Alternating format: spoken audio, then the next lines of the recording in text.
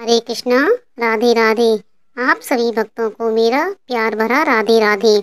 आज हम बात करेंगे, भगवान श्री कृष्ण ने अपने सिर पर मोर पंख क्यों धारण किया हुआ है? भगवान श्री कृष्ण ने अपने सिर पर मोर पंख इसीलिए धारण किया है, क्योंकि मोर वासनाओं से रहित और आजीवन ब्रह्मचर्य का पालन करता है। इसीलिए भगवान ने उसे अपने सिर पर धारण किया हुआ है।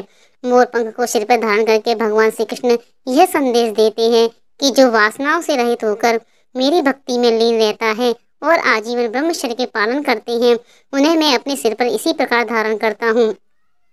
दूसरा कारण यह भी है कि भगवान श्री कृष्ण को राधा रानी ने मोर पंख को सर्वप्रथम भेंट किया था। इसी कारण भगवान ने उसे हमेशा याद रखने के लिए अपने सिर पर धारण किया था।